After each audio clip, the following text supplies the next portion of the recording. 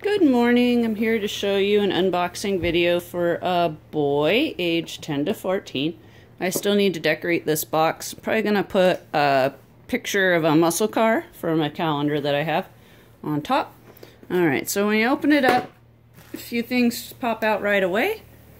So, obviously this guy, Lion from Kohl's. Um, I try to put more manly uh, animals in the older boys, but I do always include a stuffed animal. So there's him. Also on top there's a set of Legos, uh, generic Legos. I do regular Legos too when I can get them on sale. These are from Michael's summer clearance. They probably still have some if you go check it out. Less than a dollar fifty for a pretty good set there. Uh, a pair of socks. I do include men's socks in the big boys because my son was wearing men's size shoes uh, when he was this age, so there you go. Have a belt. It's the kind that really doesn't matter um, how big you are because, yeah, you can go any size in between. Um, it is officially a boy's extra large belt. Um, I have a small bag of small things here. Uh, I try to put small things in bags. Um, sometimes I sew them, sometimes I use Ziplocs.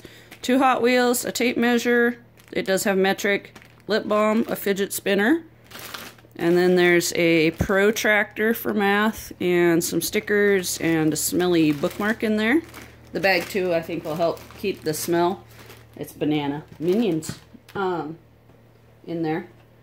I have a ah, large cup, which has a washcloth. There's Irish Spring soap in here too, if you've ever heard the story about the boy that got Irish Spring. It's a great story. You can find the video on Samaritan's Purse TV. Um, in the cup we also has a baseball and a pair of underwear. In this one, the clothing item I have is a pair of jeans. Um, these were on clearance. So this is a size 14, but as parents know, sometimes you can find these ones with the adjustable waistband. So it has these buttons inside on elastic, and then you undo them and you can pull it in smaller or bigger. So I got a few pair of size 14s of these, uh, figuring a smaller child can pull it in.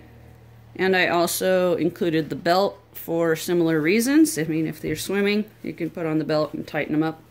So they should work for any boy in this age range. So if you're ever worried about sizes, just kind of think outside the box. You can make it work. Um, airplane, a comb, and a toothbrush. And then he has uh, school supplies. We have some colored pencils, a pencil case. If you've watched any of my videos before, you know that I just fill these up with all kinds of things. So he's got highlighters, erasers, glue sticks, a pencil sharpener, pencil top erasers. There's about eight pencils, about five or six pens. Um, there's some markers down in there and a few crayons. So that's there. Also for school we have a college ruled notebook. I do college ruled in the big kids and wide ruled in everybody else.